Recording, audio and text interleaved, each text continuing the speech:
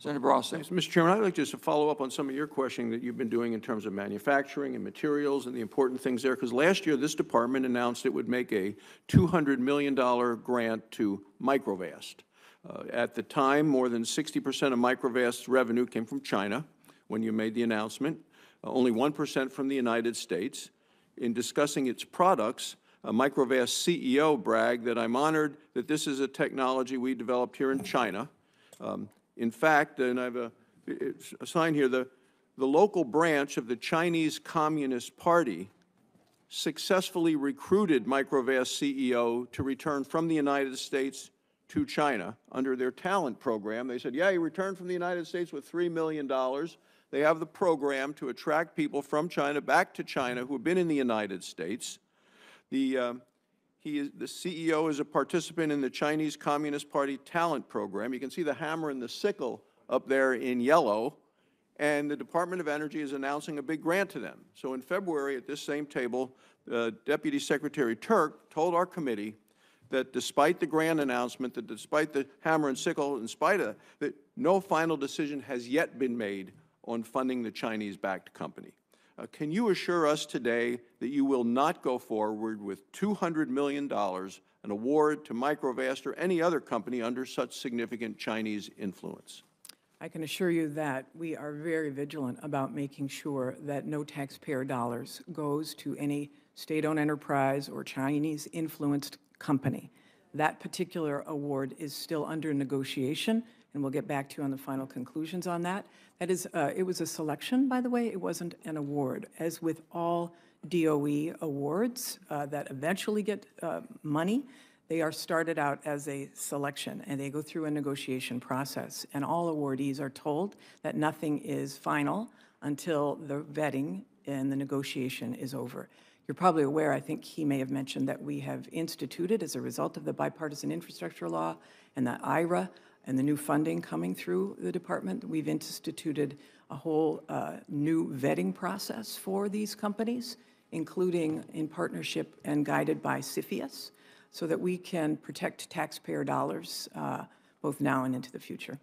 Uh, And in terms of not just uh, evaluation, perhaps when you make the announcement, that ought to be under investigation too by your own group to say, we're not going to announce something that could uh, cause this sort of concern by members on both sides of the aisle on this committee. Moving on to the, uh, another issue. Uh, Over the past few years, the Biden administration has aggressively pushed back against the idea that COVID uh, could have emerged from the Wuhan lab. But earlier this year, scientists at your department, the Department of Energy, determined that a lab leak is most likely the origin of COVID-19. Um, did you agree with your own agency experts that COVID was most likely leaked from the Chinese lab? Uh, The uh, intelligence community found that with low confidence because there is conflicting reports and a conflicting opi- opinion within the IC community.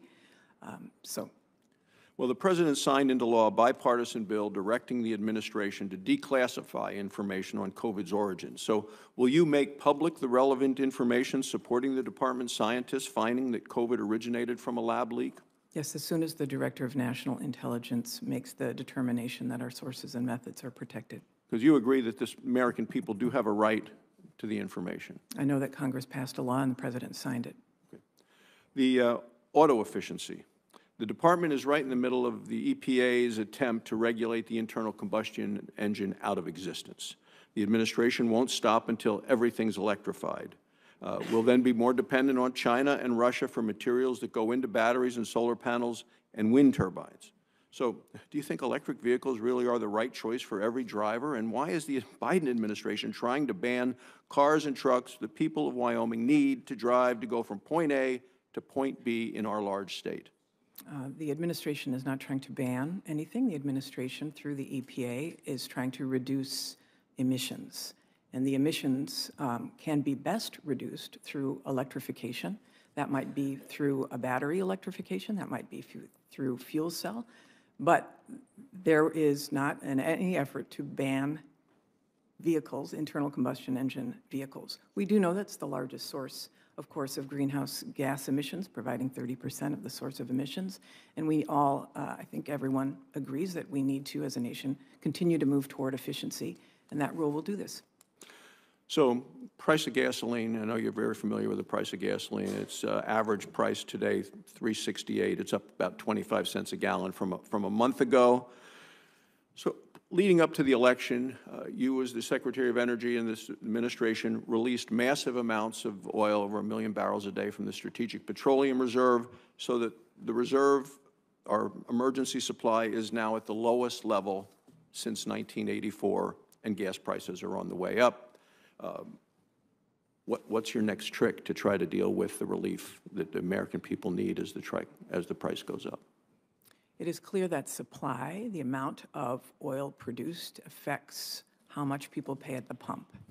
The challenge is that oil is traded on a global market. And so when Russia invades Ukraine and barrels are pulled off, there's a supply disruption, which is why the president wanted to use, in the case of war, the Strategic Petroleum Reserve to stabilize and reduce prices, but really to provide the supply necessary to stabilize the global market as well. That was successful.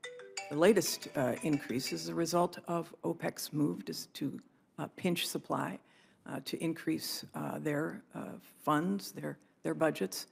Um, It is another reason why it is important to continue to accelerate, honestly, the move to electrification so that we can have, uh, we don't have to rely on volatile sources. And also, the president has called upon our domestic oil and gas producers to continue to increase supply as well. Both need to happen. So then your, one of your recommendations is to actually drill more American oil, build more pipelines, make it easier and cheaper to produce American oil. We have called upon the oil and gas industry to increase production so that people are not hurt at the same time as we want to accelerate toward clean energy solutions. Thank you, Mr. Chairman. Senator. Hey, before you click on the next video, if y'all could do me a big favor and hit that like button. The algorithm loves it, and so do I, because it helps promote these videos and get the message out about what our government has been doing. Don't forget to hit that subscribe button and turn on your notifications, because every time I put out a video, you want to know about it, right? Thanks again, and have a good one. See you on the next one. Peace.